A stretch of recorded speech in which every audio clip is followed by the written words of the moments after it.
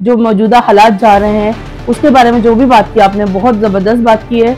मैं ये कहना चाहूँगी कि जितने भी लोग खुदकुशी कर रहे हैं या मर रहे हैं, दुनिया से जा रहे हैं, गमजदा हैं लोग, परेशान हैं, हालात को लेके यकीन कीजिए कि बाज़ दफ़ा रोना आता है इनके हालात पर।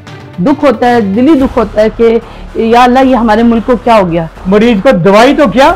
वो डॉक्टर जो बैठे हुए रात ही सोशल मीडिया पर एक मैं देख रहा था, बड़ा फनी टॉक थी कि डॉक्टर जो है वो मरीज़ का मर्ज नहीं लिखते। वो लिखते कौन सी लैब से ज़्यादा पैसे कमाए गए। बिल्कुल ऐसे ही है। ये जो हुकूमत ने या जिसने भी मैं ये कहती हूँ कि ये इतने बिलों पे जो टैक्स लगाए हैं प्लीज़ इन टैक्सों को ख़त्म करें ताकि गरीब आवाम जो है अपनी रोटी का कुछ कर सके। यहाँ तो मैं समझता हूँ कि ये रियासत अवाम की माँ नहीं बल्कि सुतेली माँ से भी पत्थर हो गई है। साहब गोई से काम ले रहा हूँ। क्या किया रियासत ने? रियासत के आगे हुकूमत है। हुकूमत ने क्या किया? हमेशा हमने सुना है कि जो भी गवर्नमेंट आई है जो भी गवर्नमेंट आई है कभी सुना किसी ने कोई चीज़ सस्ती कर दी है? एक गरीब बंदा किस तरह करवाए? मैं सिर्फ़ यही कहूँगी कि जो ऊपर हुक्मरान बैठे हैं सियासतदान बैठे हैं कि खुदा के वास्ते एक दफ़ा आप लोग गवर्नमेंट के हॉस्पिटल में आके अपना इलाज करें। तब आपको आवाम की तकलीफ़ का पता चले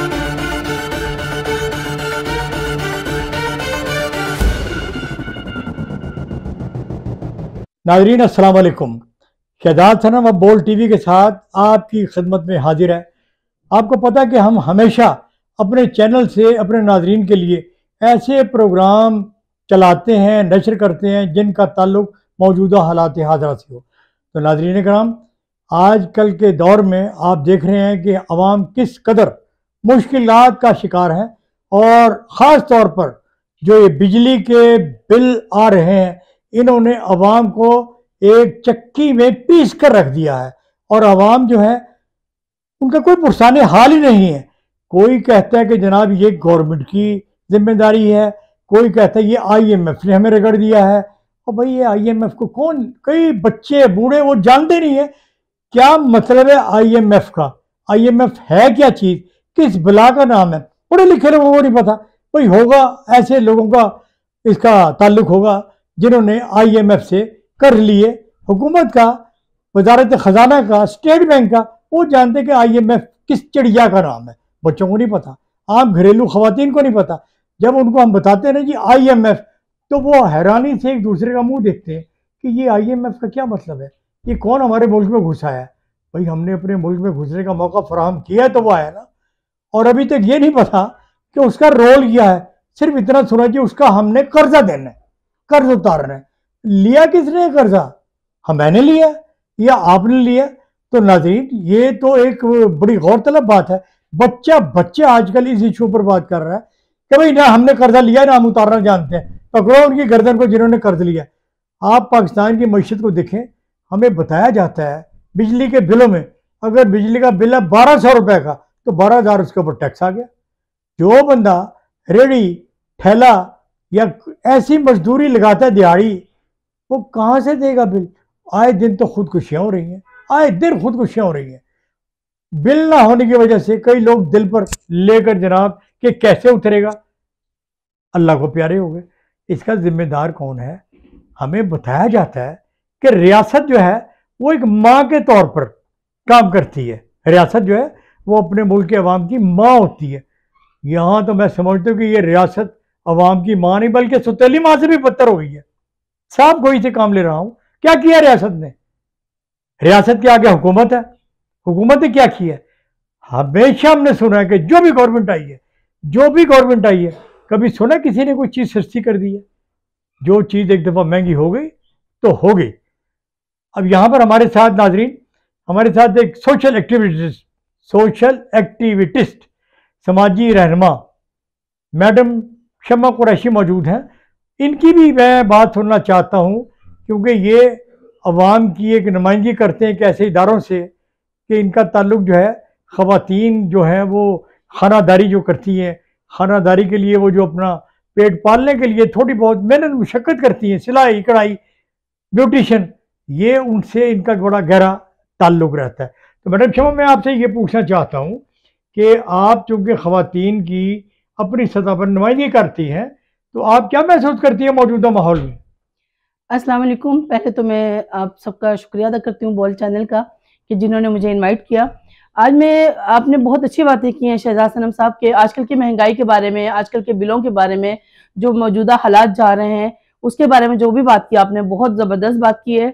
मैं ये कहना चाहूँगी कि जितने भी लोग खुदकुशी कर रहे हैं या मर रहे हैं, दुनिया से जा रहे हैं, गमजदा हैं लोग, परेशान हैं हालात को लेके यकीन कीजिए कि बाज़ दफ़ा रोना आता है इनके हालात पर दुख होता है, दिली दुख होता है कि या अल्लाह, ये हमारे मुल्क को क्या हो गया? क्या ये आज से जो कुछ साल पहले पाकिस्तान था, वही है? ये हमारा पाकिस्तान है? नहीं, ये हमारा पाकिस्तान नहीं है। इसको सियासतदानों ने बांट दिया है। इसको सियासतदानों ने तबाह कर दिया है। मैं किसी भी सियासत का नाम नहीं लूँगी, किसी भी सियासतदान का नाम नहीं लूँगी, लेकिन जो भी आता है वो दूसरे पे मलबा डाल के चला जाता है कि ये उसकी हुकूमत थी उसकी वजह से महँगाई हुई। लेकिन इसमें पिस्ता कौन है? अवाम। इसमें पिस्ता कौन है? गरीब लोग। अमीर तो नहीं पिसते। ना ही अमीर लोगों के कोई बिल आते हैं ना ही उन्हें बिल अदा करने पड़ते हैं। गरीब बिल अदा कर रहा है गरीब अपना पेट भर रहा है। जो गरीब बेचारा एक वक्त की रोटी खा रहा है वो भी उसके लिए मुश्किल हो गई है। मैडम तो, हमारे मुल्क में अब मौजूदा दौर में कोई हुकूमत नहीं है। कोई कवानीन और जवाबत नहीं है। हम सिर्फ़ ये सुन रहे हैं कि हमारे ऊपर एक निगरान हुकूमत का बल्ब लगा दिया गया। बिल्कुल मुसलत कर दिया गया है। वो भी फ्यूज है। जी वो भी वो बल्ब भी फ्यूज है उससे और तारीखी फैल गई है। अब आप ये देखें हमारी तरफ़ से कोई भी गवर्नमेंट आती है आए और जाए हुकूमत का फ़र्ज़ है वोट लेकर आई है तो अवाम के लिए फलाह बहबूद करे। अवाम की फलाह बहबूद के लिए काम करे अवाम के लिए आसान रास्ते तलाश करें। आप स्कूल में चले जाए बच्चों को दाखला नहीं मिलता। बिल्कुल हर जगह एक तो सिफारिश है रिश्वत है और बहुत ज़्यादा करप्शन है। अस्पताल में चले जाए मरीज़ को दवाई तो क्या? वो डॉक्टर जो बैठे हुए हैं रात ही सोशल मीडिया पर एक मैं देख रहा था बड़ा फनी टॉक थी कि डॉक्टर जो है वो मरीज़ का मर्ज नहीं लिखते वो लिखते कौन सी लैब से ज़्यादा पैसे कमाए गए। बिल्कुल ऐसे ही है। अब एक आदमी को पैसे नहीं वो लैब में क्या करेगा जाकर? बिल्कुल। ज़ाहिर है एक दो दिन इंतज़ार करके सिसक सिसक कर खुद ही मर जाएगा। ये हमारे अस्पताल हो गए थानों में चले जाए आप। जब तक आपकी कोई सुनवाई नहीं है ना या कोई सिफारिश नहीं है या कोई डंडा पीर नहीं है आपकी थाने में भी कोई सुनवाई नहीं है। वहाँ पर थाने में भी वो लोग कदर करेंगे उनको पता कि यार इनको अगर छेड़ा तो ऐसा ना हो पीछे से कोई ऐसा डंडा पीर आ जाए जो कि हमारे वाले वाले हो जाए। मैं आपसे आपकी बात काट रही हूँ आपको एक बात कहना चाह रही हूँ कि मैंने भी दो दिन पहले एक वीडियो देखी कि जिसपे एक शख्स अपना बिल लेकर आया और कहने लगा कि मेरा मैंने ये बिल फाड़ दिया है। हम्म। तो दूसरे शख्स ने उससे कहा कि बिल फाड़ने से क्या होगा? वापडा वाले तो फिर भी आके आपका मीटर काट देंगे। मीटर काट देंगे। लाइट बंद कर देंगे सब कुछ कर देंगे कर सकते हैं वो। उसने कहा कि मेरे घर में सिर्फ़ दो पंखे थे। एक पंखा बेच के मैंने पिछले महीने अपना बिल जमा करवाया। अब मुझे ये बताएँ कि मैं दूसरा पंखा भी बेच के बिल जमा कराऊँगा? मैं क्या करूँगा? मैं इतना गरीब बंदा हूँ और पंद्रह हज़ार रुपये मेरा बिजली का बिल आया। ये बहुत जुल्म है। हम यही कहेंगे कि इस जुल्म को रोका जाए। कम से कम जो लोग दो वक्त की रोटी खाते हैं ना वो एक वक्त की रोटी पर आ गए और जो एक वक्त की रोटी दे रहे थे अपने बच्चों को वो मेरे ख्याल से फाके से मर रहे हैं। देखिए मैडम मैं आपको एक बात बताऊँ कि हर जगह पर नाम आता है इशराफिया इशराफिया। भाई ये इशराफिया यानी कि ये जो इस्टेब्लिशमेंट है ये है क्या चीज़?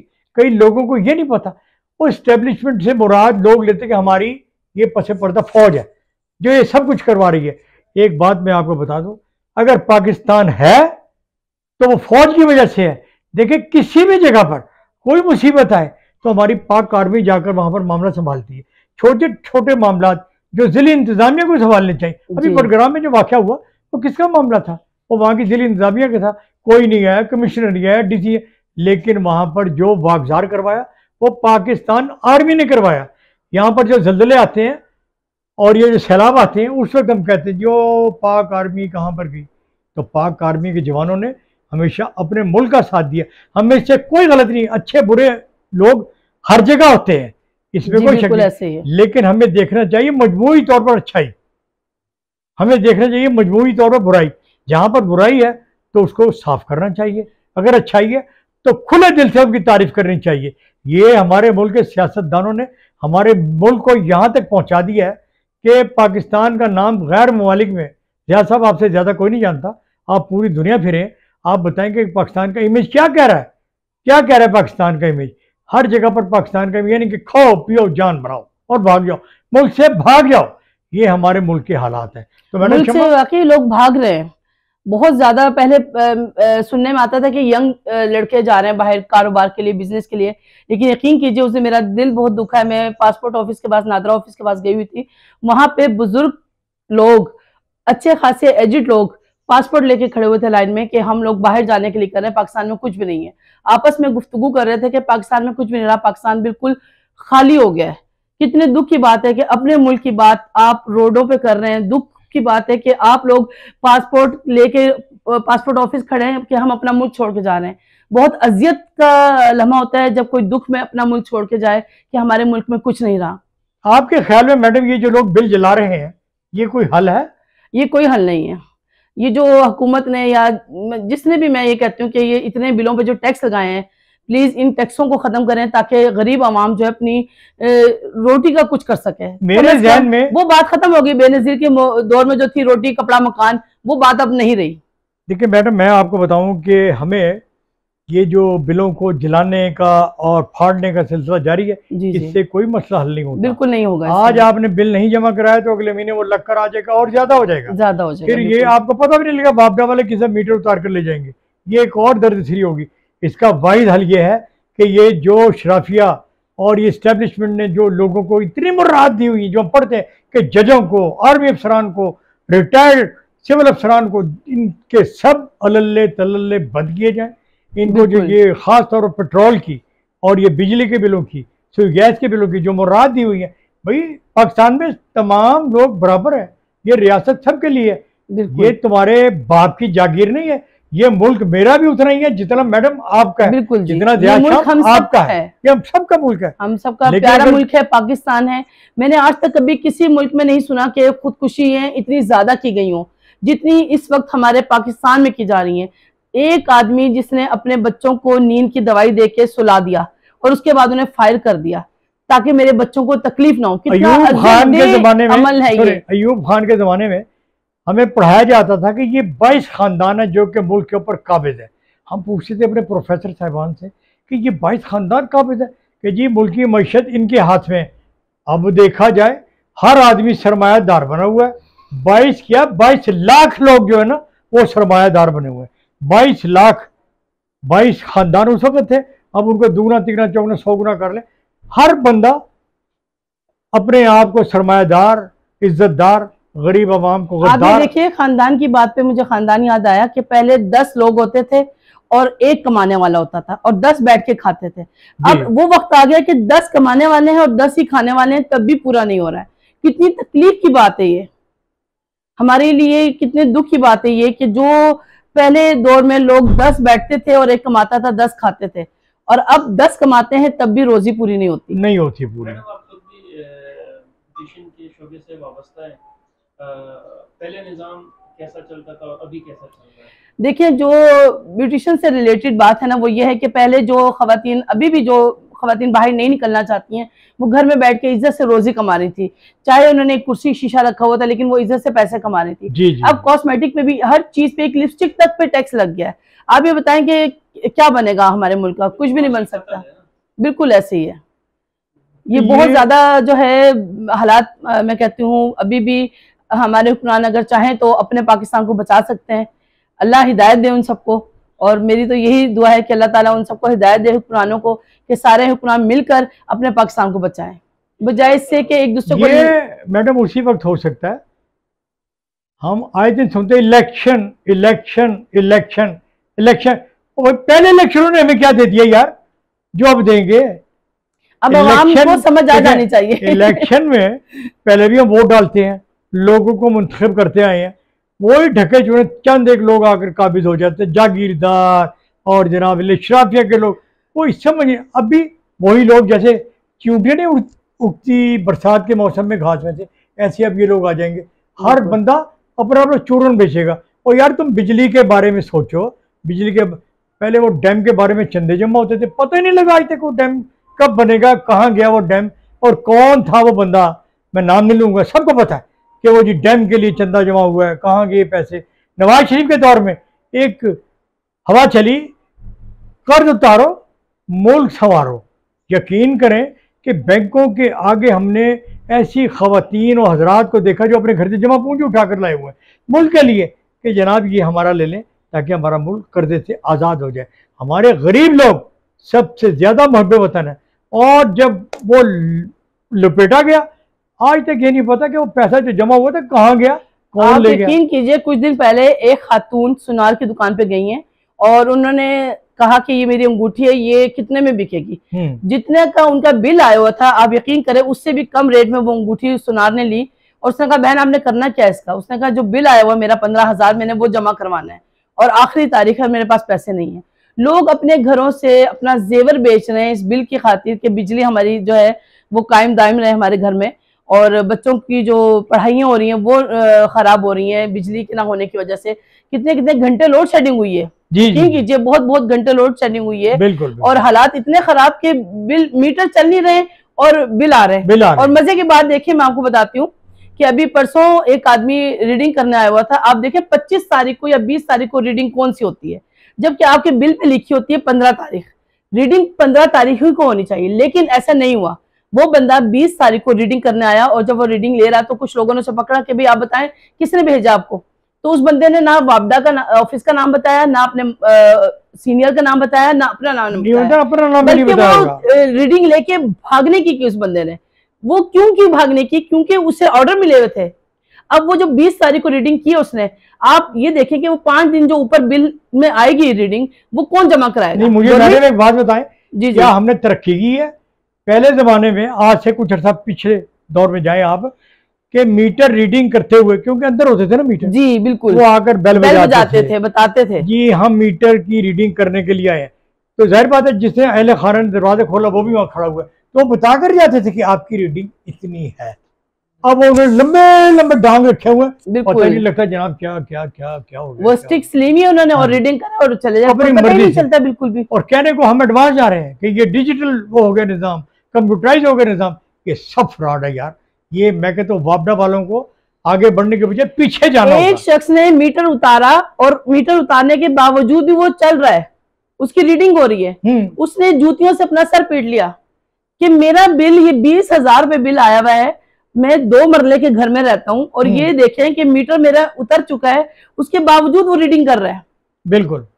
ये कितनी करप्शन है? खुदा के वास्ते इस करप्शन को रोके। अच्छा ये देखें कि वापडा वालों को फ्री बिजली दी हुई है उनके मुलाजमीन को। बिल्कुल ऐसे ही वो तनख्वाह नहीं लेते हैं? वो गवर्नमेंट के मुलाजमीन नहीं है वो आम के खुदाम नहीं है। किस बात की फ्री बिजली दी हुई है भाई? इस तरीके से तो हर आदमी अपने अपने दफ्तर में अवाम का खादिम कहलाएगा। उनको भी फ्री देनी चाहिए। ये जितने हमारे नेशनल मेम्बरी असम्बली के मेम्बरान हैं और इवन दिन कभी आपने नेशनल असम्बली का मीनो देखा है?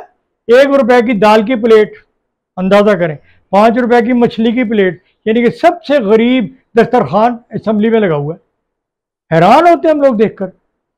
एक रुपए की रोटी एक रुपए की दाल और जनाब एक रुपए की चाय पाँच रुपए की मछली की प्लेट यानी कि ये वो है जो कि आम आदमी किसी आम से होटल पर भी जाए तो कम अज कम इन चीज़ों के उसका जनाब सौ डेढ़ सौ रुपये देखिए ये तो चले हमने बिलों की बात कर ली बिजली की बात कर ली। आप हॉस्पिटल का हाल देखिए जी। हॉस्पिटल में एक पेशेंट जा रहा है ठीक है डॉक्टर से गवर्नमेंट का हॉस्पिटल है यहाँ फ्री इलाज होगा। लेकिन क्या है कि वो अंदर गया बुखार उसे हो रहा है बुखार चेक करवाने गया कंसल्ट उसे डॉक्टर ने क्या कर दिया रिकमेंड कि आपको कोविड है और कोविड की मेडिसिन लें आप हम्म, और उसमें बहुत सारी मेडिसिन पर्ची पे लिख दी। जब वो बंदा बाहर आता है टेस्ट करवाने के लिए तो उसे कहा जाता है कि टेस्ट यहाँ पर नहीं हो सकता हॉस्पिटल में हम्म, आपको ये बाहर से करवाना पड़ेगा। हम्म, फिर गवर्नमेंट के हॉस्पिटल का फ़ायदा क्या? जब आधे से ज़्यादा मेडिसिन बाहर से लेनी है टेस्ट बाहर से करवाने फिर गवर्नमेंट के हॉस्पिटल में क्या हो रहा है? ये जो लाखों करोड़ों रुपए की मशीनरी आ रही है कहाँ जा रही है? कहाँ जा रही है? ये क्या आगे सेल हो रही है? ये क्या हो रहा है? किस लिए हो रहा है? ये इसके कोई देखने वाला नहीं है डॉक्टर्स को कोई पूछने वाला नहीं है।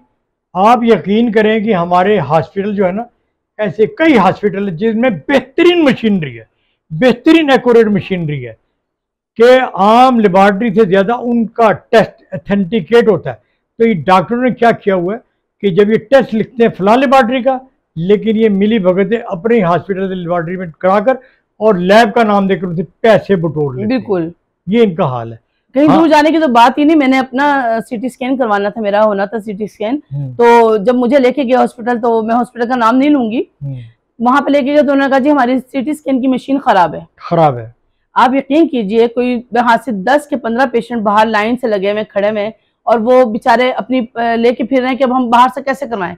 एक अगर गवर्नमेंट हॉस्पिटल में तीन हज़ार का सीटी स्कैन हो रहा है वही सीटी स्कैन बाहर प्राइवेट लैब में छह हज़ार का हो रहा है। हम्म। एक गरीब बंदा किस तरह करवाए? मैं सिर्फ़ यही कहूँगी ये जो ऊपर हुक्मरान बैठे हैं सियासतदान बैठे हैं कि खुदा के वास्ते एक दफ़ा आप लोग गवर्नमेंट के हॉस्पिटल में आके अपना इलाज करवाएँ। तब आपको अवाम की तकलीफ़ का पता चलेगा। ये तो छोड़े मैडम ये तो हो गया। बिजली का बिल भी हो गया। आजकल तजावजात की बहुत ही मशहूरी हो रही है कि हमारी ज़िली इंतज़ामिया तजावजात के पीछे पड़ी हुई है। और भाई होता ये है आपने जिस वक्त पहले इन्फॉर्म कर दिया कि हम आ रहे हैं जी छापा मार रहे हैं। पहले ही दुकानदार हजरात ये तितर बितर हो जाते हैं। बिल्कुल जी। ये जब सारा वो- मिला हुआ होता है जी। जब वो अमला चला जाता है आप देखिए वही उससे ज़्यादा बाज़ार सज जाते हैं। मैं इसमें एक अपनी राय दूँगा इसके ऊपर जरा गौर कीजिएगा और ज़िले इंतजामिया तक मेरा ये पैगाम पहुँचना चाहिए। जिस दुकानदार के आगे तजावजात का छापा लगा हुआ, उस दुकानदार के खिलाफ पर्चा देना आप ज़रूरत नहीं होगी कि वो जनाब वहाँ पर दुकान किसी को छापा लगाने देगा। होता यह है कि दुकानदारों को इतनी आमदनी अपने माल सेल करने से नहीं होती जितनी वो छापा लगाने वाले किराए की मद में उनको दे देते हैं। ये है सारा। इसका दारो मदार ये है कि जितने भी लोग हैं ना तजावजात मुलफत आप देखें कि इनको पट्टा डालने के लिए ज़रूरी है कि आप इन दुकानदारों को पाबंद करें कि अपने सामने कोई न लगाए तो नाजरीन ये आज का हमारा जो प्रोग्राम था इसमें हमने मिले जुले तसरात खोल शोभा देके। शोबाजात के बारे में जो आपके सामने रखे और हमेशा हमारी रवायत रही है हर मौजूद पर हम अपना प्रोग्राम नशर करते रहे हैं तो आज का ये प्रोग्राम जो था ये ख़ास तौर पर हमारा फोकस था बिजली तो वो भी आपने सुना और यकीनन जब हमारा इंटरव्यू आप सुन रहे होंगे तो आपके दिल में भी उबाले उठ रहे होंगे। कि हमें क्या कहना है?